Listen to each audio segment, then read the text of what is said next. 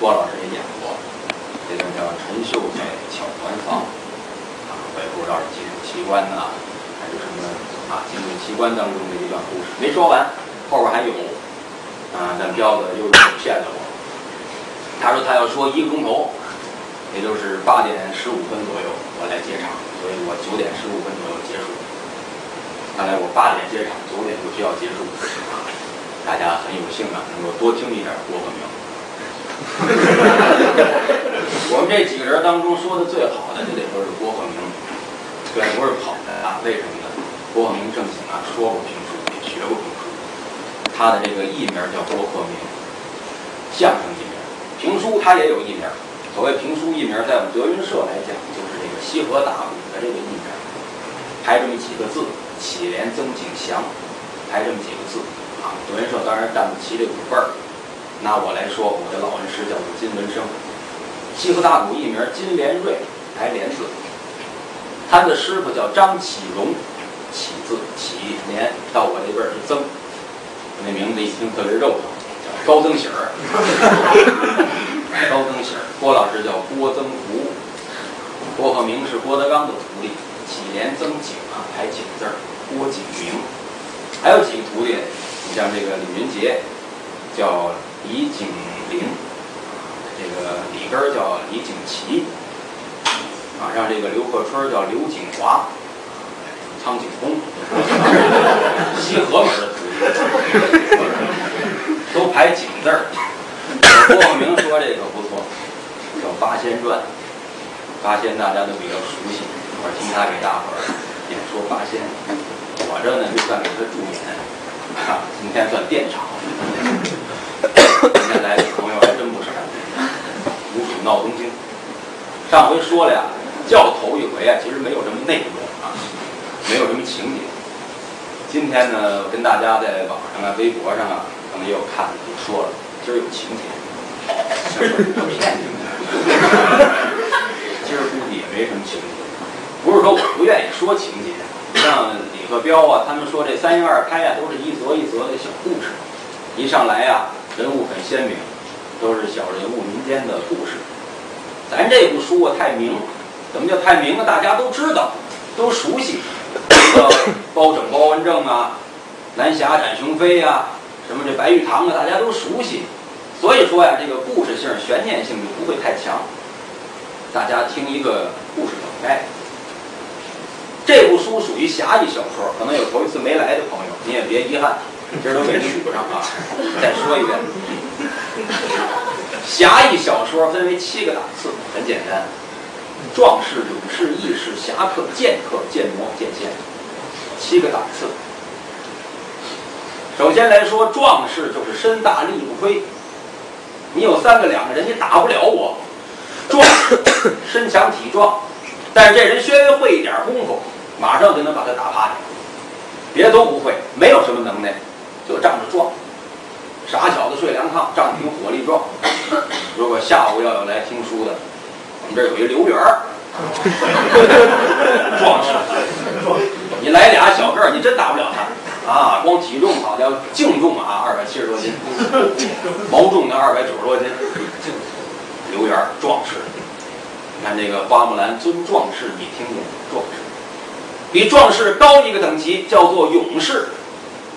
咱们这部书里就有开封府八大勇士：王朝、马汉、张龙、赵虎、董平、薛霸、李贵、楼青。八大勇士，勇士比壮士高的地方，勇士刀枪剑戟斧钺钩叉，鞭锏锤抓躺棍槊棒拐的流行，带钩的带尖的带刃的带刺的带峨眉针的带锁链的，扔得出去垒回来的，马上九班马下九班二九一十八班兵刃。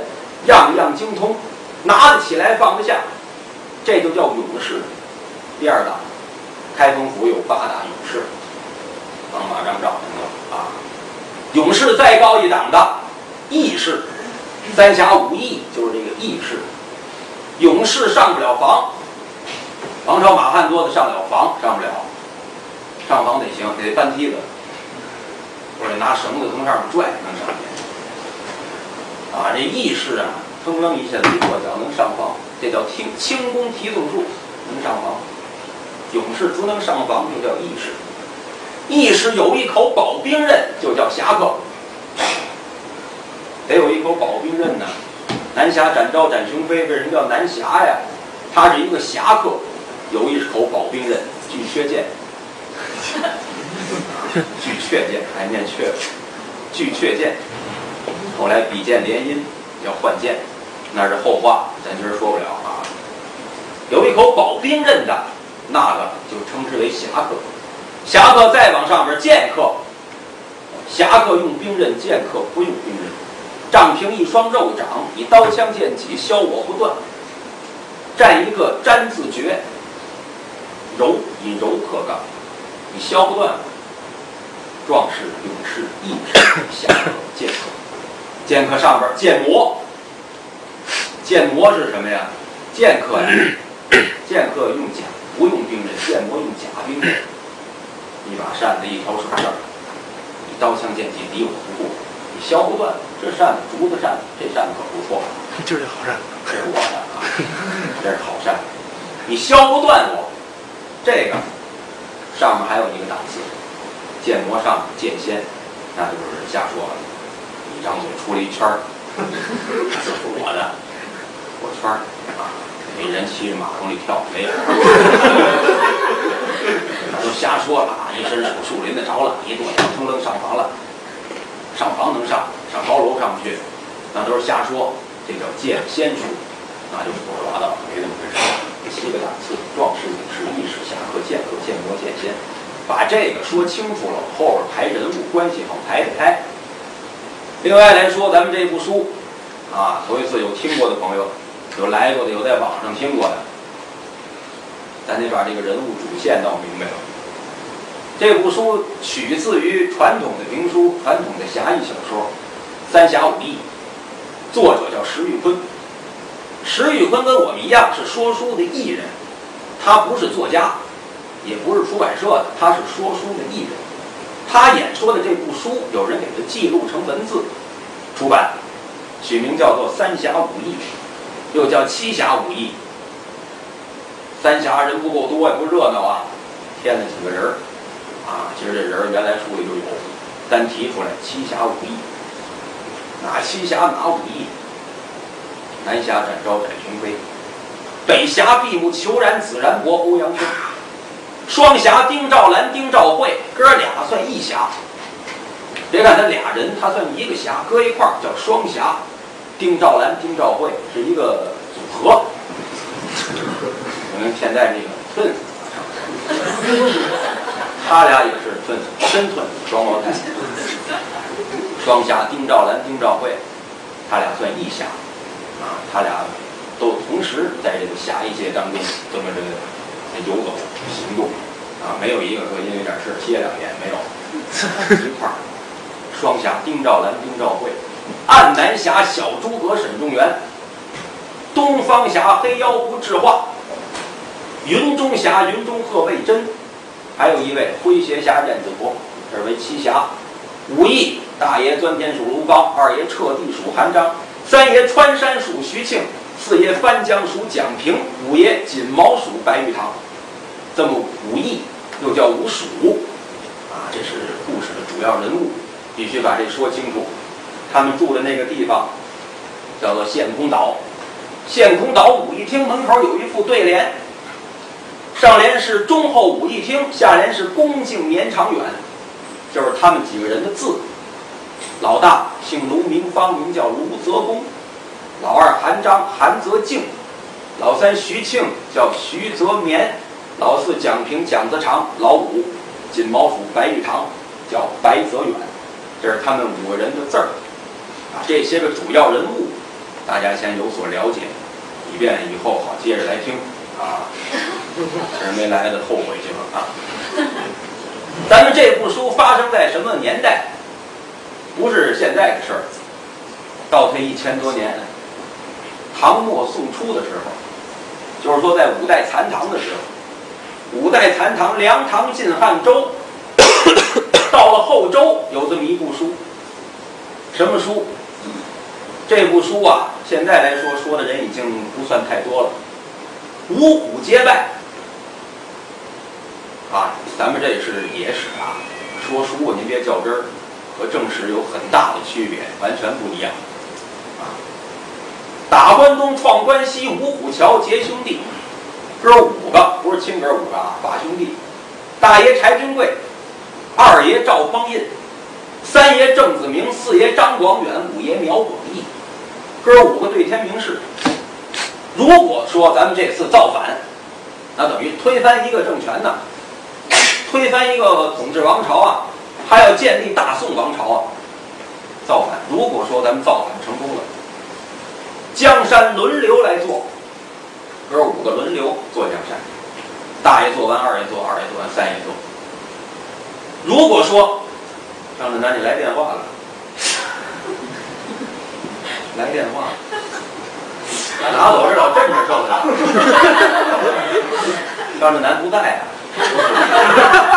看不见啊，不好意思，我以为那个是。啊，好像是，我以为我起过气象，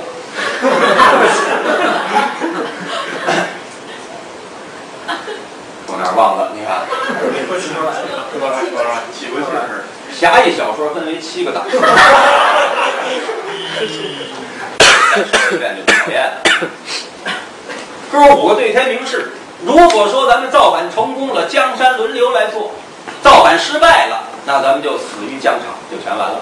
哥五个都死了。各位，这不是简单的事儿，推翻政权呐，不是那么容易的。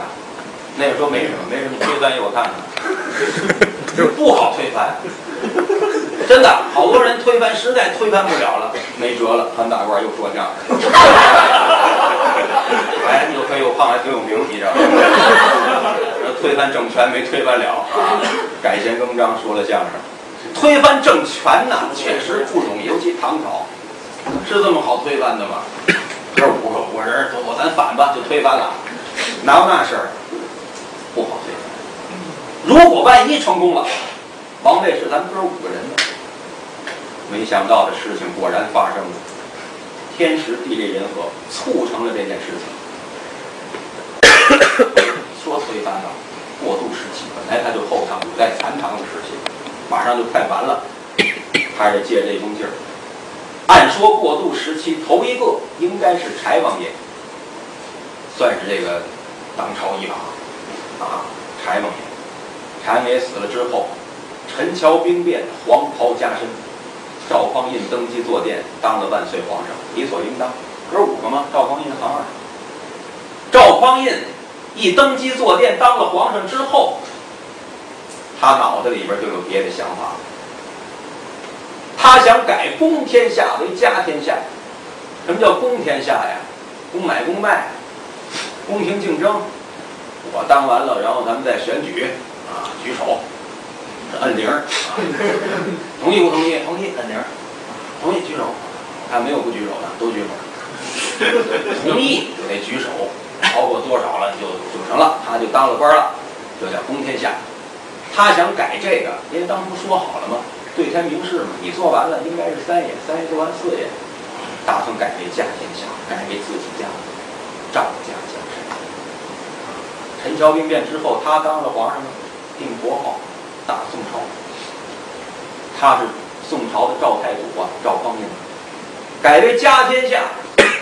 桃花宫醉酒斩了郑子明，醒酒贬了苗先生。有一出京剧《斩黄袍》，可能大家有听过的啊。喝醉了，酒醉桃花宫，借酒折脸儿，一封撒邪，杀了郑子明。酒这东西啊，大家都有这经验，可能也都喝过酒。酒这东西醉人不醉心，怎么叫醉人不醉心呢？跟朋友聚会去了，同学会，高兴多喝两杯，走的时候腿底下拌蒜可以。酒是高粱水，醉人先醉腿，眼睛看不见道，简直是活见鬼。确实，腿腿底打晃，脑子有时候迷糊，神经麻痹有。嘴里头拌蒜，说不清楚，但是你说真有原则、大是大非的问题，喝完酒以后，管你爸爸叫儿子没有，绝对没有。有人是什么呢？借酒折脸儿，平常不敢说的那些话，可喝了酒了，我可有了借口了，有了机会了，叫酒后吐真言。喝完酒了啊，谁不是东西，谁对不起我，谁太不是人了。转天您问他，这玩意您怎么这么说的？因为我不知道，喝多了。其实他比谁都明白，没个不知道。酒后吐真言，骂街都骂别人，没一个骂自己的。不是对吧？你说咱想这道理，咱得讲理啊。你爱说喝多了脑子糊涂了，他得连自己也在其内。喝完酒，我不是东西，我谁都对不起，谁都比我好，我谁都都欠人钱，没这样的各位，没有这样的，以酒遮眼。赵匡胤同样如是，醉酒斩了郑子明，别喝醉了，因为下一个接任者就是他，不把他杀了，行酒贬了苗先生，知道吧？那你怎么能把他杀了呢？愿意干吗？不愿意干，你走。他是皇上，他说了算的。老光，你走，逼走张广远，让你说我杀郑子明杀的对不对？你说杀的不对，你亏心。啊，你说杀的对，杀的对，好，你能这么说吗？你说杀的不对，把你我也杀了。逼走了张广远，我不跟你这儿。走了。有人说赵匡胤派人给他暗杀了，有人说投河自尽了，有人说出家了，有人说又下海了，那咱管不着了。啊，反正就是赵匡胤剩下这是一个自明，他就觉着把宋家江山变成赵家江山。各位，天理昭彰，循环报应，世间万事万物皆是一理啊！种瓜得瓜，种豆得豆。我害完人了，我就占便宜了吗？您错了。因果报应不是咱迷信，因果报应啊！他老琢磨害人，你想他心里头他能平衡得了吗？他老想害人，他心里头也难过。我天天我谁都对不起，晚上躺床上起琢磨呢，各位睡不着觉。他没有咱各位心里踏实。上班很忙，休息时间没什么事儿了，听听评书，回家睡一好觉，多好啊！他们不去，天天琢磨人，心里头跟自己是一个较量。跟心里是一个较量，公买公卖，绝对公平合理。赵匡胤死了之后，本当王位应该是他儿子的吧？好，弟篡兄位，赵匡胤的弟弟，也姓赵，叫赵光义，他亲弟弟，登基坐殿，当了万岁皇爷。你把那哥仨杀了，你让你儿子当，你儿子当不了。我是你兄弟，我篡了你的王位。还有了另外一出京剧啊。贺后骂殿，贺后是赵匡胤的正宫娘娘。赵匡胤的大儿因为不满现状，碰死在殿上，金殿之上，拿脑袋找柱子，叫两句，结果输了。故意啊，故意，碰死在殿上，我不活着。应该王位是我的，你当叔叔，你是我亲叔叔，你篡了我们家的王位了。文武大臣也不敢，敢怒不敢言，谁敢说？他是皇上，咱还甭说一个国家，一个统治王朝，一个单位里边天天议论那厂长多不是东西，那书记天天的那个劣迹斑斑，敢说吗？是真的，咱也不敢说呀。还是相声圈比较清静一点，对不对？那各个工厂单位不愿意跟他们为伍，太乱。说相声，说评书当然更。不敢说呀！文武大臣不满，大太子碰死在殿上。贺后赵匡胤的正宫娘娘，大哥又看着那出京剧，怀里抱着那木头人儿，戏台上是木头人儿，实际上他代表的不是木头人儿，将来了不起的一代人物。八王千岁赵德芳，就是那孩子，还没我这扇子大，没这扇子长，这扇子才尺二呢，抱着。说这个万岁皇爷这个位置应该是我儿子的，大太子碰死殿上，他死了我管不着，我这还一儿子，应该是我的，凭什么你坐那儿？对吧？他得讲理啊。这说嫂子管他叫嫂子皇嫂，嫂子您认，我也姓赵，我哥哥也姓赵，我登基坐殿，不知紧要的，没便宜外人，不还是咱赵家江山？再者说了，我这两个贤侄，大太子碰死殿上，他能当皇上？废话，不因为你他能碰死吗？他死之前他也当不了。你想七八岁他能领兵打仗吗？说是咱成立大宋王朝还没灭干净，个别地区还打着仗呢。跟咱们新现在一样，新中国成立的时候，很多地方还没解放呢，好多地方是新中国成立之后解放的，对不对？那阵儿好好些地方还打着仗呢，他行吗？这小子更不行了，怀抱还没断奶呢，正吃着呢，那那都吃着呢，出出去打仗去吧，那行吗？那个，他打不了仗啊，他不是这么回事儿啊。我当这个皇上，我能指挥领兵打仗。这不是咱们赵家江山就稳固了吗？皇嫂，您怎么不明白？是我不明白，是你装糊涂？嗯，让你说说，我这个儿子怎么办？好，金殿听风。本身赵光义也亏着心呢，你再怎么矫情，应该是人家的。皇上再小，他是皇上，也得给人家三百九叩。好，金殿听风。皇嫂，我封他一个官儿。让他这个官职比我不小，怎么样？贺后高兴，你是万岁皇爷，我儿子封这官比你不小，不小就是大于等于的意思，不就对吧？或比你大，或跟你一样，还有比皇上大的吗？你先说说我听听。我封他为八王千岁，赵德芳。哪八王？殿前王，殿后王。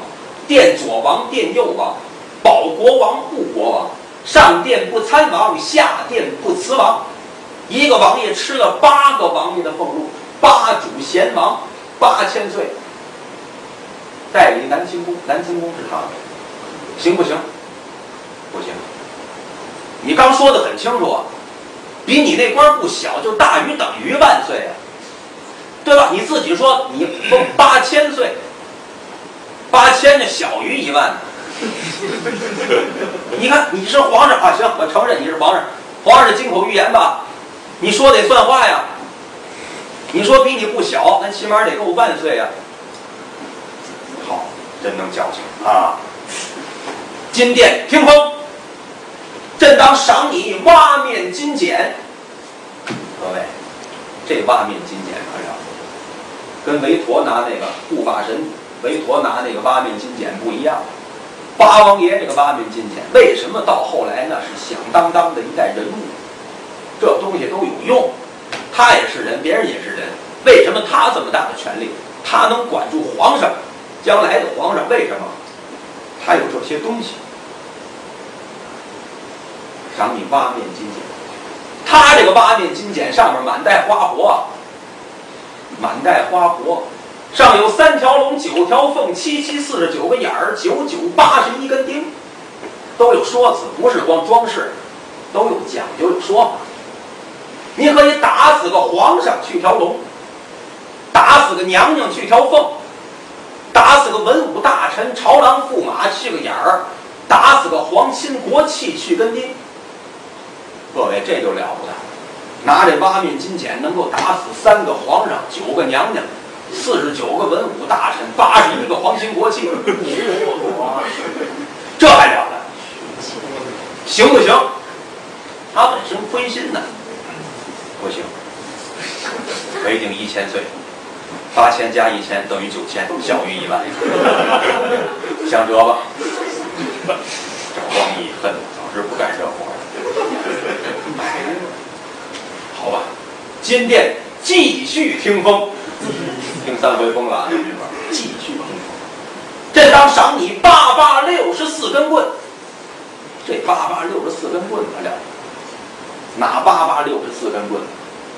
八根龙头棍，打的龙子和龙孙万岁的头上转三分；八根凤尾棍，打的是三宫六院宫娥才女那些人；八根麒麟棍，打的朝郎与驸马；八根虎头棍打的文武众大臣，有八根黑红棍打的贪官何无力，八根狼牙棍打的土豪并列身，有八根狗头棍打的无义不孝人，还有八根佛手棍打的僧道并两门，上打昏君，下打谗臣，文武大臣，朝郎驸马，回汉两教，僧门两道。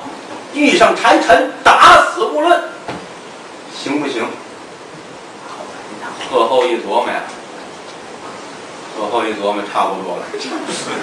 啊，一算这账呢，这比一千里多，一万挂零了。啊，这四舍六入五六双的原则啊。那说四舍五入嘛，啊，这是那个大学物理的课程，数学都没这说。四舍六入五六双，好，差不多，这事儿。就算完了。贺绍光一高兴。甭管怎么说吧，给他这些东西对付走了，以后真打死了，有什么话再说。你就对不对？先给他，你先把他打发走，有什么话再说。哎，他觉着他就行了吗？还是那句话，天理昭彰，循环报应。他死了之后，他的儿。子三弟，三弟姓赵，叫赵恒，不是曲艺团说相声那赵恒啊，不是那个。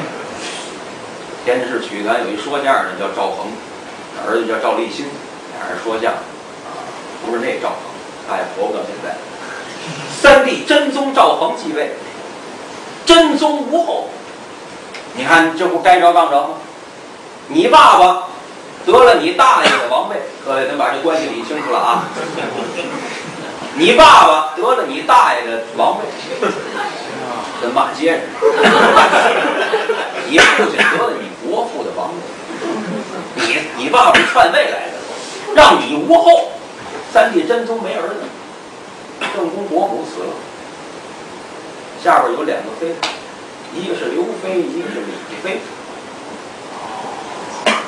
金华宫刘妃，玉晨宫李妃，刘飞李飞争功夺怨，对，没正宫啊，正宫死了，对吧？现在缺一个正宫啊。现在一样啊，跟说相声都一样啊。哪个大师又死了，赶紧再树一个大师。那大师是竖着玩儿去了。那泰斗死了，死就死，没有就没有了。你不能愣竖一泰斗出来。他跟单位不一样，书记死了再续一书记，不是那事儿。您说是不是？对。还是皇上缺一个正宫。刘李二妃同时身怀有孕，赶上那一年八月十五中秋佳节。万岁皇爷在御花园内摆下酒席，款待刘李二妃。酒席宴前呐，各位，这皇上啊，皇上这角儿说实在的啊，也不好当，真的。比如说让我跟皇上换换，我也不换。皇上比咱还受罪。我说过去啊，我可没说现在啊，过去，那皇上也不容易。什么事他都得考虑，他说出一句话来，那就了不得，那就是圣旨，对吧？咱说句话也有说错了的时候，也不是诚心想说错。皇上说错话可了不得，那是圣旨啊！说杀谁，那就得杀了，对吧？那可了不得，皇上喝酒，一来二去酒喝多了，滋溜一口酒，吧嗒一口菜，带着两个妃子赏月饮酒。喝着喝着酒，一看俩妃子这肚子，一天比一天大，一天比一天大。甭问准是怀孕了，憋着仨屁没放也不是这样。你们两个人，谁先产生太子，哪个立为正宫？这话可了，这是说着玩的吗？啊，各位，谁先产生太子，就是谁先给我生个儿子，谁就是正宫国母。生闺女的或者受后生儿子那个，那对不起了，再见。那差着行似的，正宫国母跟妃子那不一样。皇上八十一个媳妇儿，三宫六院七十二嫔妃加一块儿，三加六加七十二等于八十一。八十一个媳妇儿，对吧？缺一个正宫国母，谁先产生太子，哪个正宫国母？就是正宫国母。这句话是惹祸的根苗，以后产生了经历宋朝塌天之大祸，对吧？你光空口无凭啊也不行啊，有信物，赠两人，一人一颗玉珠，玉珠就是皇上啊用的那珠子，玉珠，啊，不是那小珠啊，不是，皇上什么东西都叫玉，皇上用的叫御用，皇上吃饭叫御膳，皇上那脑袋叫御头，御头啊，什么都得是御御珠。皇上的两颗珠子，命班班陈林在珠子上刻上字儿作为信表，一个刻上金华宫刘妃，一个刻上玉宸宫李妃，作为凭证，并且赠诗一首。写在一个手帕上，这叫诗帕。见诗帕，如见当初赠帕郎，啊，留诗一首。春风得意花千蕊，秋月杨辉桂一枝。天降紫薇接送后，一代新人并雄雌。写好一首诗，万岁亲笔啊！写好一首诗，拿着诗帕，拿个玉珠，分别赠给了刘李二妃作为凭。简短截说：十月怀胎，一朝分娩，其实不够十个月。九个月零十天，挂手自落。到了日子了，这玩意儿拦不住。我多搁俩月行吗？不行，跟冬储大白菜不一样。到终点儿他难受，哎呀，他得喊。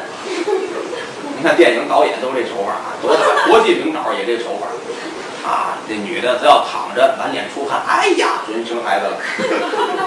啊，您就不许改改手法，对，那会儿哇，孩子降生，一样。十月怀胎，一朝分娩。你说她是娘娘，十三个月行不行？不行。啊，也有十三个月，秦始皇就十三个月降生，就这么一位，是真是假无从考证，民间传说而已。十月怀胎，一朝分娩。李妃产生一子，那刘妃能干吗？对不对？你产生一子，你就是正宫国母了，你儿子将来是小皇上，我怎么办？你是总经理，我科员，那行吗？定下第七，为李妃接生的是谁？尤婆。这尤婆可是刘飞的人。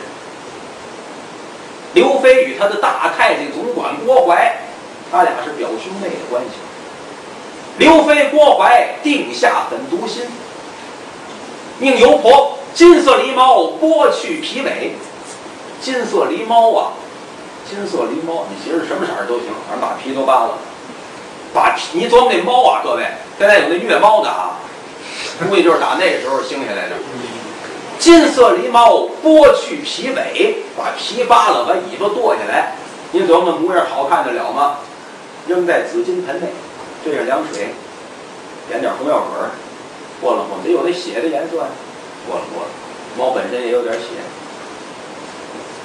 递到了万岁皇爷面前，启禀万岁，李后产生妖孽，万岁敢看吗？皇上比咱胆还小，不敢看，拿眼稍微这么一瞄，害怕，心一哆嗦，拿走拿走，不敢看。这拿走那还了得？过去人迷信，什么年头说什么话。现在要是听说谁生了一个怪物。跟那个狸猫剥了皮那模样一样，咱得化验、得验证、DNA 鉴定是不是这么回事儿？有科学的研究，过去没有。大宋朝哪有 DNA 那外国人还不知什么模样呢。这个为什么叫天子啊？中国人就是这样，只知道有几，不知道有人。啊，皇上就是我，就是天子，天底下就一中国，中国外边就是汪洋大海，不是这么回事。没有这个条件去鉴定，怎么办？把李后打入冷宫，就跟现在关禁闭一样，打入冷宫，软禁起来。冷宫的说现在话，负责人姓秦，名叫秦凤。书中暗表，秦凤与班班陈琳关系甚好。秦凤手底下有这么一个徒弟，姓于，叫于中。于中这个人呐，有一个最大的特点，他的这个模样啊，长得跟李后一般不二。别看一个男的，一个女的，他跟李后长得一个模样。这是一个暗比，将来有大用。于中，这是秦凤的一个徒弟，在冷宫关押着李后。花开两朵，各表一枝，还得说说这边。你把这个猫搁盆里头给皇上啊，说这是李后生的，那你这孩子怎么办？眼睁真有一个孩子，刘妃郭槐，命寇朱寇成玉，不是说姓寇名朱字成玉，不是啊，成玉是个官儿的名字，就是宫女的头儿，承接的承，玉就是御用的御，御膳的御，他能跟皇上说上话，叫承御。后珠寇承御，龙符包裹太子，金色狸猫剥去皮尾，抵换太子龙体。你现在拿着太子扔到金水河下，顺水漂流，把他勒死，扔在金水河里漂走了就完了。这事儿就死无对证。将来我这儿子是太子，因为怀孕嘛，他不可能同天怀上。就你琢磨这道理是不是？总有一个早几天，晚几天。那是说到底早几天呢？看皇上体格怎么样。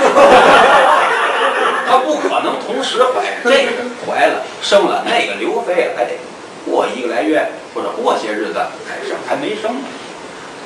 这边寇珠抱着这孩子，怎么办？你说怎么办？主人说了，让你扔，你敢不扔？对吧？关上门，刘飞最大呀。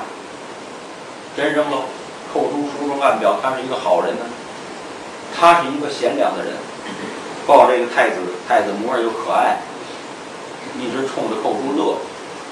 他要一直哭，哭不停，一心烦呢。我不是太子，我想扔他，看着就可气，摔死他。看着就可爱，刚刚降生的太子，漂亮好看，龙体您懂不懂？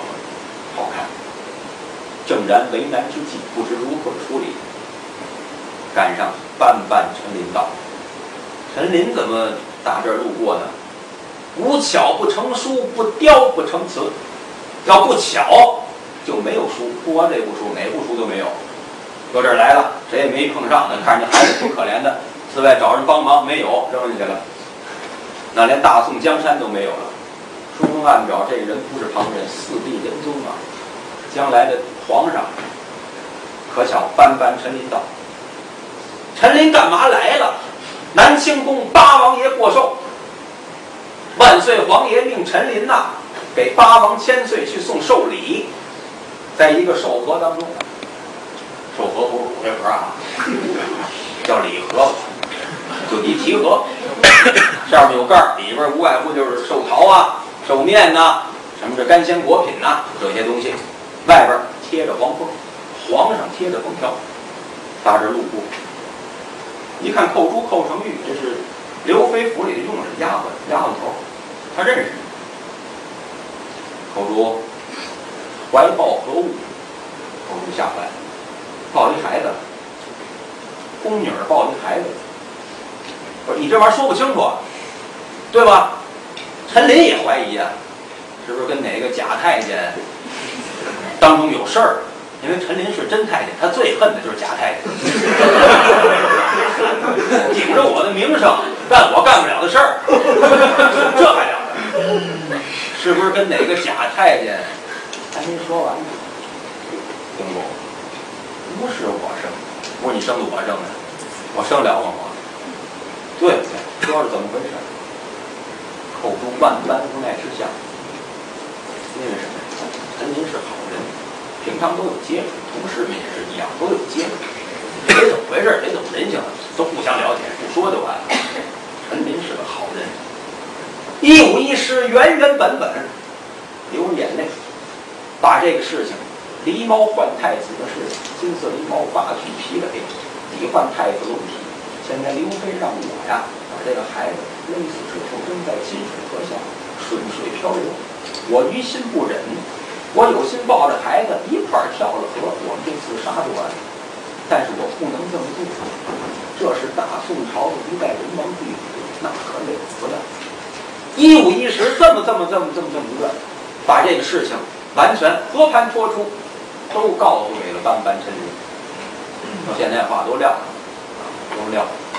陈林一听这事儿可，这个事情太大，事关重大呀。这是太子有何为证？有龙符为证。龙符是包袱的那个符，包袱是果实。别的孩子拿这个果，人也没有，不给你。龙符为证，咱们陈林闪二目观桥，过不去。好吧，这件事情天知地知，你知我知，不能入他人之耳。这事太大，这是皇上。现在有弃婴问题，咱还追究呢，还谴责呢。弃婴那弃婴是皇上，这还了得？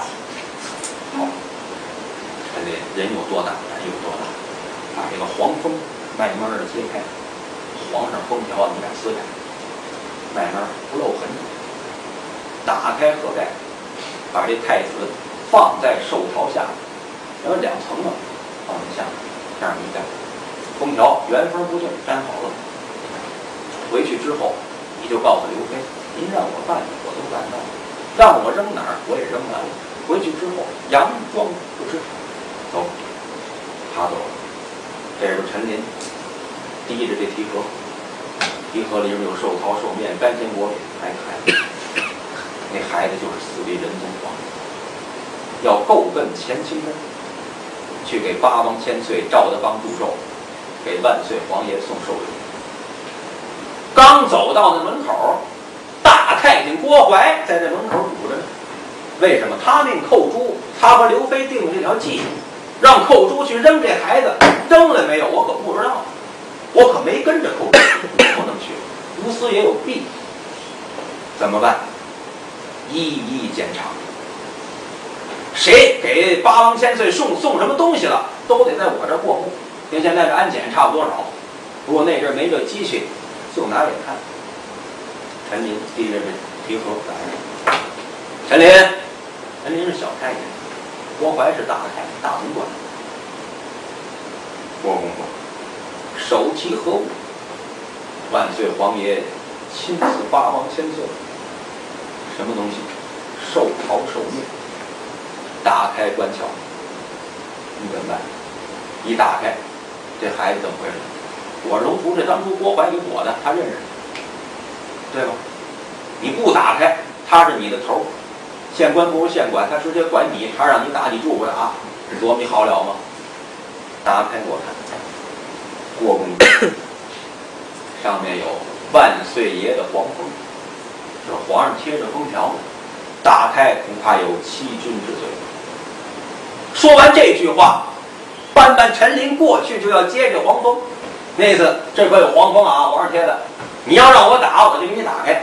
一会儿送进去，皇上一看黄封破了，八王千岁他认识这个东西，那可不行，对吧？你让我打，我就给你打开，对吧？反正他们皇上跟八王千岁还得见面儿。到时候皇上一看这怎么回事？这不我打的，我来的时候就这样，那可干了。您可想清楚了。哎，您让我打我打，你管我对吧？到时候我说郭白让我打的，我还说你等等。既然有皇封在此嘛，他一琢磨也对呀，皇上亲自封的，皇上不能把孩子搁里再封上，给八千岁送去，皇上怎么了？皇上，对吧？皇上封的皇封啊，那我封的不都封了吗？你你琢磨这道理，皇上封的，他自己封的，把孩子抱里啊，别哭啊，宝贝儿，别封上，给八千岁送去，他怎么了他？其中无诈，没什么。皇上封的，我这有点多多疑多虑，好吧，陈林，走吧。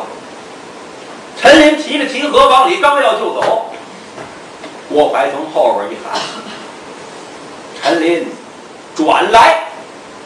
转来就是回来。陈林回头定睛观瞧，郭公公有何见教？郭槐察言观色，看陈林脸上的表情，定睛则有，转睛则无啊。如果说心中有鬼的话，眼神飘忽不定。有时候跟朋友聊天挺好的，啊，挺好的，明天就是那什么，他不定偷你什么，他不定对你有什么损失，他不敢跟你对眼光。陈林转来，郭公公有何见教？他能跟你对眼神？他一看，走吧，没事儿。那会儿没事儿，你叫我吧，就给炸一炸。这陈林那是面子上、面儿上，他显着没事儿，心里都跳成一个，那还了得？到了里边见着八王千岁，八王爷，万岁皇爷让我给您亲送寿礼。八王千岁不知道这事儿，高兴好，打开我看，不行，需要避开耳目。万岁皇爷亲自嘱咐，这个东西只有你我二人观瞧。王爷心说怎么回事？万岁皇爷那是他兄弟。有病啊！啊，给我送礼还瞒着，完了以后我好，我倒成累赘了，还得赶紧藏起来，怕人看见，怎么回事情了？好吧，避开所有的人等。这回行了吧？闲杂人等全都轰开，有不该来的就别来啊！该走的赶紧走，闲杂人等全都轰开。好，屋里就留了一个太监，一个宫女，都是自己的人啊。书中暗表，这太监个儿还不矮，一米九二。这宫女挺漂亮，自己的亲信可以留在这里。打开这个皇宫，八千岁能打开，皇上就给你送来的，你再不能打开，那就得了。打开皇宫，锅盖拿开。啊，这个很好嘛，我喜欢这个寿桃肉，不是这个，寿桃寿面不是这个，这层拿开往下这么一看，哎，下面有一个孩子。农夫包裹里的果实，这孩子难得一点，命不该亡啊！孩子自始至终没哭过，他要在里边一哭，你多能耐你也瞒不住。孩子一哭声音还大，你说我掌调门压过他，你压不过他。他一哭，你这玩意儿都能听见。孩子睡着了，这孩子抱出来，寇珠怎么怎么怎么回事？在金水桥边。要扔太子，让我给拦下来。咱俩做这么一个扣，你回去怎么怎么说？我给您把这太子送来，这是皇上的儿子。八王千岁赵德芳不听此言，还话来。闻听此言，激灵灵打了一个寒战。这事儿事关重大，这可了不得。怎么办？可巧，近一段时间，八王千岁的娘娘嫡娘娘产生一物。不说产生一子吗？不是，产生一物，产生一个肉球。过去人迷信呐，产生一个肉球，这玩意儿必是不祥之兆。把这个肉球打发底下人，拿布盖上，顺着金水河漂流，漂流到南方苏州，被一个打鱼的老头啊，把这个肉球给打上来了，一网一网不逮鱼。是一网没逮着鱼，逮一肉球。这肉球里边是什么？肘子、瘦肉，反正准是小小肚。这么大个儿，你懂不懂？肉球。回家拿刀劈开一看，是一个小孩儿。这个打鱼的姓王，叫王老好，给这孩子取名叫王华。将来寇准呐，给八王爷算卦，说你有一儿子，在江南苏州的，你自卖自身。八王爷听话呀，他得找这肉，他不知道这肉球是儿子，现在他得找这下落呀。后脊上插一草标，这么大八王爷自卖自身，当街的迷贵，谁买我？买我，自卖自身，谁买我的这我？八王爷也听过张志宽啊，自卖自身，赶上这个王华啊，长大了。王老好呢，让他，你说孩子，我这都挺大岁数要死的人了，你说养活你这么些年，你连声爹都没叫过我，叫我老伴儿一声妈，对你没什么损失啊？为什么不叫我呀？你叫了我之后，我死也瞑目了。王华一琢磨也对呀，叫吧，爹，哎，娘，哎，叫爹爹死，叫娘娘亡。他是龙体呀，你是打鱼的，他管你叫爹，那哪受得了去？那可不是吧？甭说很大了，我让一个工厂厂长管我叫爸爸，他不干。他亲爹他都不见得喊，对吧？你让他管我叫爹，那哪行啊？过去人迷信呐，叫爹爹死，叫娘娘亡。后来娶妻，娶妻那天，媳妇跟他说啊，出门转转，拿点零钱啊，给我合适的衣服。买件回来，就看见八王千岁插草标，自卖自身。谁买我的这我？王华买布，买个爸爸回来。这是另外一部书，咱暂且不提。就是说，嫡娘娘产生一个肉蛋，肉蛋扔到顺水漂流。要没有嫡娘娘产生这个肉蛋，这个四弟仁宗也没有奶吃。他生了孩子，甭管生的是什么，生了孩子才有奶水，而且这个奶水要不出去，这胀得难受。对吧？八王爷本身也不好这口。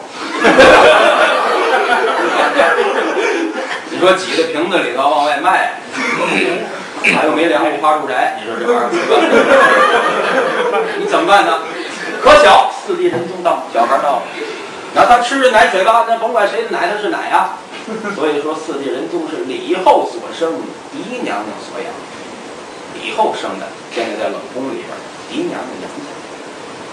这事儿好似风平浪静，就算完了，谁也不知道。孩子越长越大，始终认为他爸爸就是八千岁，他不知道他自己是皇上，不知道。你说那刘妃呢？刘妃后来产生一子，顺理成章，他就是国母皇娘。各位，还是那句话：天网恢恢，疏而不漏；种瓜得瓜，种豆得豆。孩子到六岁的时候死了，你看，你害完人吧，你儿子活不长，你儿子当不了皇上。六岁死了，皇上还应该是你。孩子虽然说死了，但是正宫皇娘还仍然是刘妃，因为什么？皇上没有别的儿子。老皇上着急了，自己到这儿真绝了主公，这刚三弟就绝了，这玩意儿也不好听啊。一打听，八王千岁那儿有一个儿子。和死去这个太子年龄相仿，都是赵家人，一个叫赵德芳，一个叫赵恒。张凯梁不活，张凯是唱坠的，把妮进城。赵恒就是个儿子，八王爷的儿子跟赵恒儿子一边大，磨叽过来给万岁皇帝当的儿子，其实也就是他自己的。狸猫换太子的儿子，他不当，小孩儿也不知道。班班陈琳带着这个太子要拜见皇娘，就这小孩他妈就刘飞呀，后妈呀，拜见刘父亲。刘飞闪二目，定睛观瞧，一看这个孩子眼熟，越看越像老王爷，看着像赵恒，啊，也大眼睛，小酒窝。看着像他，怀疑啊，当初寇珠、寇成玉是不是把这孩子扔了？这是不是就是当初那孩子？都知道嫡娘家产生一个肉球，怎么变孩子了？种种疑问纷沓而来，全来了。你好，你好，你要看皇娘问好。啊，你好，什么？你问我？班班陈琳带着太子，各个。各个宫、各个院都得转去，其中包括冷宫，就是他亲妈所在的地方。冷宫里边那是他亲妈，李后在里边待着呢。刚才咱交代了，秦凤就是冷宫的总管，和班班陈琳是要好的朋友，他俩关系最近。把这个情况怎么回事？这个孩子是谁？他的真实身份，完全的说现在的话，抵给了。秦凤，秦凤告诉你，你儿子来。当初狸猫换太子，你儿子没死，现在看起来了。李妃高兴啊，喜出望外，闪二目观瞧，一看这儿子，眼泪可就下来了。骨肉之情啊，这孩子一看以后，莫名的心中有一种感觉，这人都有这感觉，看见亲妈了。也掉了一串眼泪。回来之后，因为正宫的皇娘还是刘妃啊，到刘飞这儿，刘飞再一看这孩子，脸上挂着泪痕，心中更是生疑，对吧？刚才就怀疑一回了，心中更是生疑。到底寇珠想当年把这孩子扔了没有？我可不知道。好，和郭淮商议之后，他们是表兄妹，和郭淮商议之后。叫来班班陈琳拷打寇珠。为什么陈琳打？郭淮提供的线索，当初我影影绰绰看见他，寇珠和陈琳在金水河边有过对话，他俩见过面。他拿着个提盒走，说有黄蜂，我俩一打开看，现在这孩子就在八位爷的府中，是不是从中有诈？命班班陈琳拷打寇珠。各位，这招可太损了。你说陈琳下得去手吗？他俩一块儿干这事儿。陈林大包大揽，你甭管了，这孩子我拿走，你回去就说扔了。到这儿我打你，让我打你，我下不去手，下得去手打我亏心，不打你这边就识破了，俩人可都活不了。寇珠真是贞烈女子，轻轻的在这个陈林边上耳语说：“陈公，送我上路，那意思你打死我不得了。”你不打死我，这事儿永远没完，咱俩都活不了。斑斑陈林心领神会，一棍儿照着太阳穴。陈林这劲儿大点儿，口珠那脑袋呀糟点儿，脑浆迸裂，死于非命。完，刘备也害怕，没有真凭实据，已经出了一条人命了。这事儿偃旗息鼓，谁也不提了，就算完了。这就是当时最有名的这么一件事，狸猫换太子啊！为什么说这个呀？后文书都用得上，都得是事情。因为我这书跟他们不一样，他们这一天最多两天就完了。我这个要是按照现在组织安排这进度啊，就是仨礼拜让我们说一回啊，咱最少得说三年左右，把这五鼠闹东京啊说完喽。三年或者一年半，那或者一年半呢？对了，二零一二来了，我一年半就完了，还有一年半啊，对吧？一年半就完了啊！现在我们家就挂着倒计时那牌呢，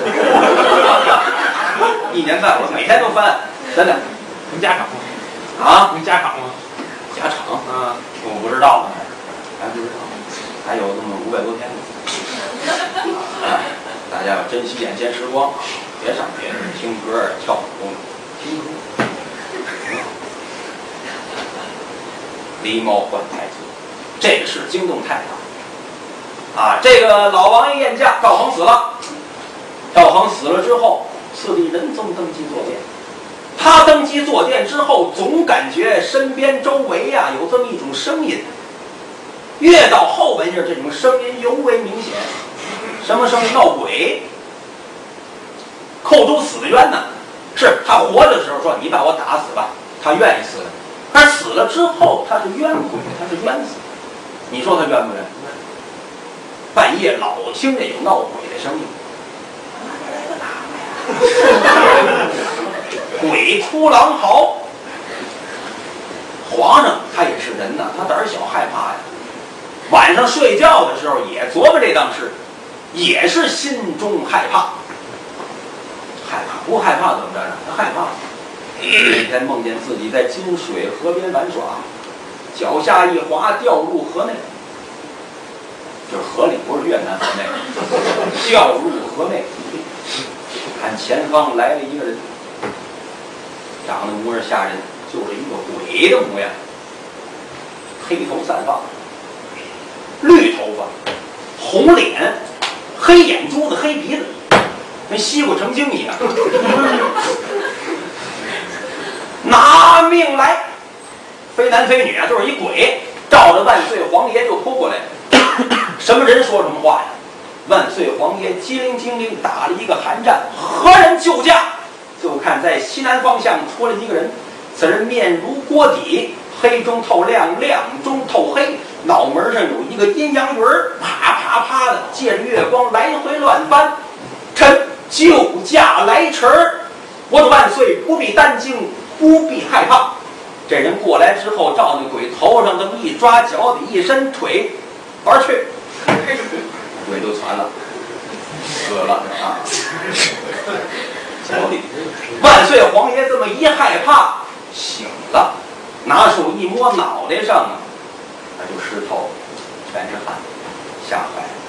天亮之后，命手下人按照梦中的回忆画了一张画。就是梦中救驾的那个人的模样。常言古语说得好：“功高不过救驾，罪大不过谋反。”多大的功劳不如救驾的功劳大？在我们这儿也是，你说相声说多好没用，有人拿枪打郭德纲，我给挡一枪，后半辈儿我就行了。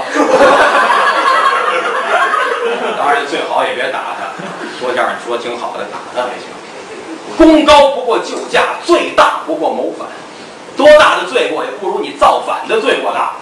说我想反了，杀人放火，没有造反的罪过大。按照万岁爷梦中记忆画了一张画，州城府县画影图形，寻找这个人，都贴到，命三朝元老王彦龄寻找英梦贤臣。应梦答应的应，应梦贤臣，就是说我梦中救驾的这个人要找他。这人是谁？包拯，包文正。包公，现在是清官的很少的这么一个清官。从古至今，最大的清官就是包公。为什么这么说呀？为什么现在还怀念包公？有时候电视上一演俩字儿“正义”，不是上快板那个“正义”，也不是弹弦那正，叫正义的还不少。正义，啪出来一包拯的形象。为什么呀？没有包公。但非都是包公，都是清官，你就不用怀念包公，对吧？各位，你想这道理，都是包公，不用怀念包公。是官就贪。我说过去啊，各位啊，我说过去，大宋朝，大宋朝那时候也有不贪的，没有啊？没有不贪，全贪。大宋朝啊，大宋朝都是贪官，现在。无 官不贪，无商不奸。来寻找包公，包公是哪儿人呢？安徽合肥小包村人。父亲包怀，两个哥哥，大哥叫包山，二哥叫做包海。包公比他们哥俩小的很多。您算吧，包怀呀，就是包老员外。五十来岁才得的这个包公，他跟他老伴儿岁数差不多大，俩人都五十来岁。在那个年头，封建社会，五十来岁有孩子呀，这不好看。为什么说你五十来岁又当爹又当妈了呀？起码证明你两口子平时不老实。我说你对吧？他要但非很老实，他能生孩子吗？五十来岁这玩意儿还生孩子不好看，不是现在五十来岁当妈了美得了不得。不是什么年头说什么话。生孩子这时候啊，雷鸣电闪，咔啦啦一个响雷。包怀包怀包老员外在外边呢，他不能进去，是两口子接生的时候不能进去，在外边睡着了。咔啦啦一个响雷把他惊醒了。做梦啊，梦见一个妖怪，跟那《西部成精》差不多。梦见一个妖怪，这时候报。包老员外夫人产生一子，过去人家迷信呢。我刚梦见妖精，这多一儿子。一看这孩子，面色如锅底，脑门不是一个月牙阴阳鱼儿。阴阳鱼儿大家都见过，就是那鱼，就是八卦阴阳鱼儿。为什么现在月牙呢？阴阳鱼儿一半黑的，跟他这脸色呀，看不出来。看见一月牙，其实是个阴阳鱼儿，这模样。太难看了！这样抱起这孩子，这必然得怀疑他夫人是不是跟刚果人之间发生了。中国人没这模样的呀，越看就越别扭。书中暗表为什么包公这个模样，这得交代清楚。投错胎了，不是没投错胎了，跟谁？跟狄青投错胎了。包公本身是文官。长了一个武官的模样，文官武相，狄青是武官文相，在天上，不是刚才打雷吗？还是投胎去？都投胎吗？啊，兄弟，你干嘛去？我也投胎去。你奔怎么？我奔东走，您奔西走。啊，行，投胎别越了啊！别 别越了，就是别都上一家去。别越了，怕越到越了，应该都奔一边去就对了。投错胎了。给起名叫黑子，包黑子，长得黑。二哥包海心存歹念，扒了如意算盘，原来是哥俩。老爷子虽然不说家产人值吧，但是有点钱。老爷子我看就快死了，死了之后我们应该承受一半的财产，二分之一。又多一儿子，他再小也是条性命，改三分之一。二分之一减三分之一等于六分之一，零点一六六循环。这这不行啊，少百分之十六点七的财产。不行，他得想办法把这个包黑的给害死。找老员外，说老爷子，我不是为着老娘在您这儿说坏话，我怀疑老娘跟刚果人结过谋心。看这孩子，不管将来跟包家门风，你看我长那么精神，当然了，不如您精神，是不是？长那么精神，咱出这么一个，这玩意儿让人说三道四，就怕说这个。本来包老员外那就动摇着呢，他看这孩子，他也恨他。他儿子跟我想一块儿去了啊！我也怀疑跟刚果人有点事儿。好吧，那么依你之意，依我之意，这孩子别要，不要怎么着呢？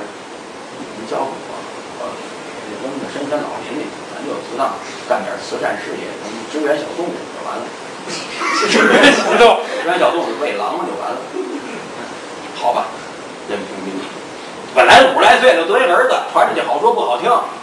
后过两天人一问，就是啊得病了，气骨治好了，没孩子，没那么回事，完了。包海抱着孩子走了。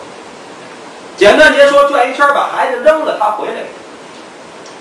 大爷包山是个好人。跟媳妇俩人这么一研究，这不行。一打听好，把老三扔了。他再怎么着是我亲弟弟呀，不行，我得把他找回来。包山到那个深山老林哪儿？远远听见有孩童啼哭之声，顺着哭声过去，一看呐，黑的躺着哭呢。老三抱起来，虽然说黑点儿吧，五官相貌比较清秀，抱回来，放在自己这屋抚养。包公没有奶，他是吃他嫂子奶长大的。嫂子正好也产生一子，跟包公同年同月同日同时，差几年。谁？包勉，那是包公的亲侄子，但是他们俩一边大，所以铡包勉那出京剧您看见，包公胡子挺老长的，包勉还小孩呢。其实他俩一边大，同岁。他的夫人左奶奶水好。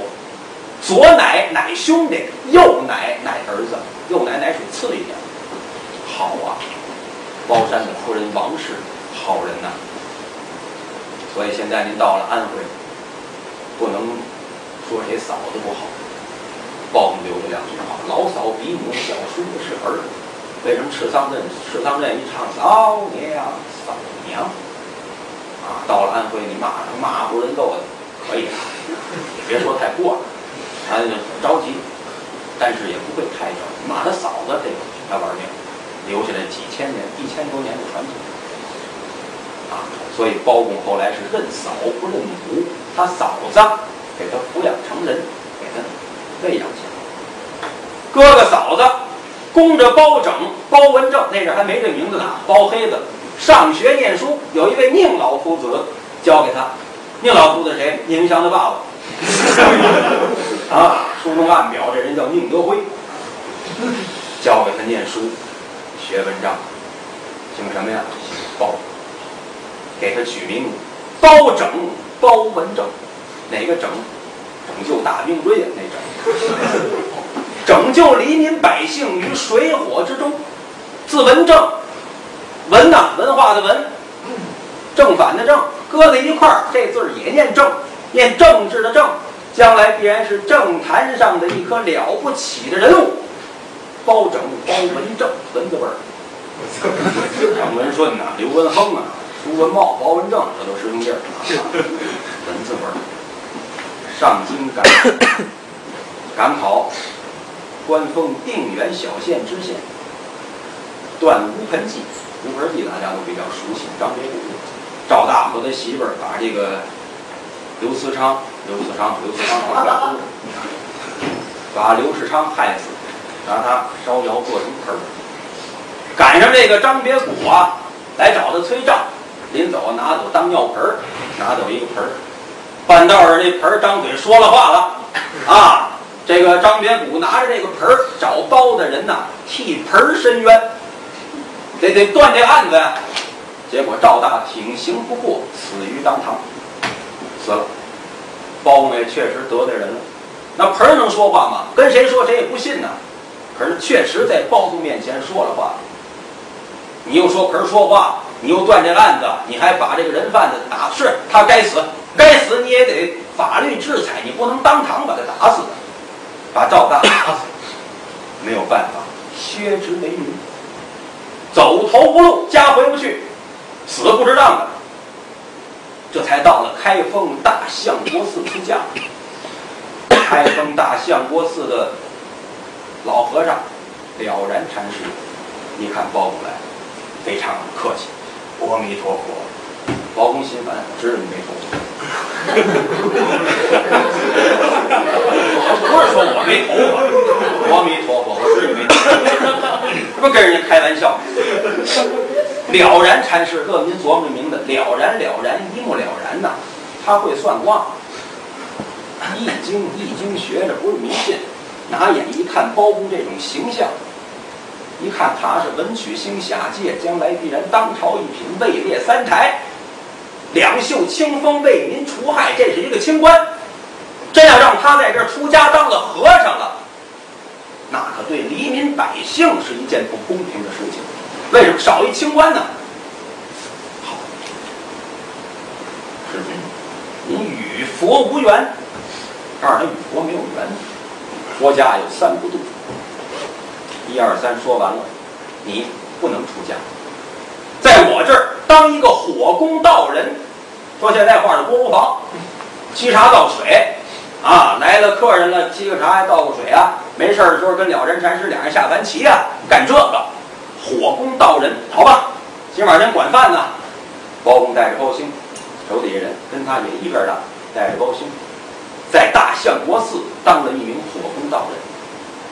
咱们前文书说了，皇宫里边，狸猫换太子之后，万岁皇爷命三朝元老王彦龄一百天的期限寻找英梦贤臣，寻找包公，对吧？让他找包公。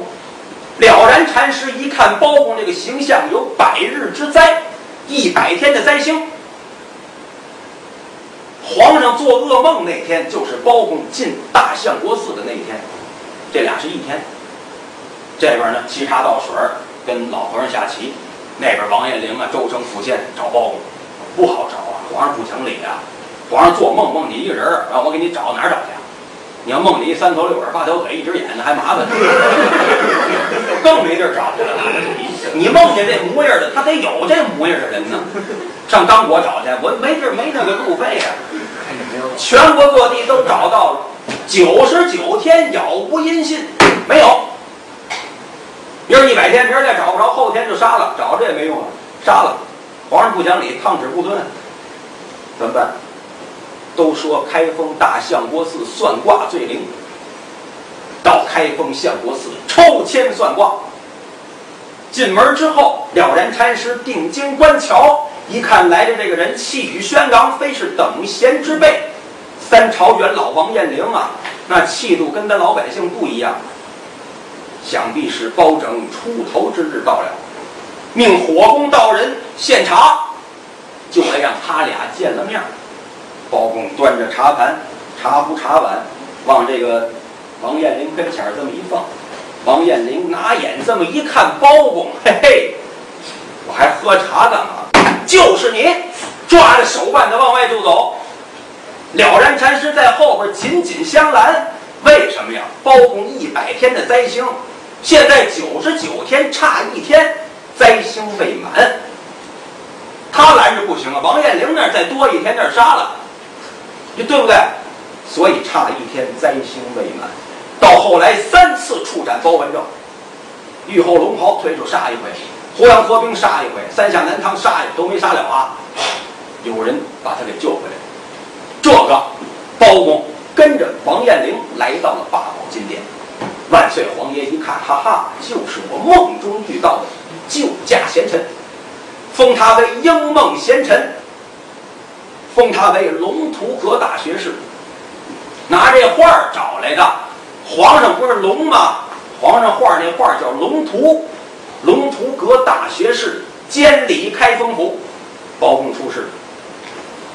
后人对包公有一个公正的评价：昼断阳，夜断阴，定远小县断无盆，清似水，明如镜，黑茫茫乌纱罩顶，明晃晃玉带缠身。上殿去，君王见喜；下殿去，文武丹经。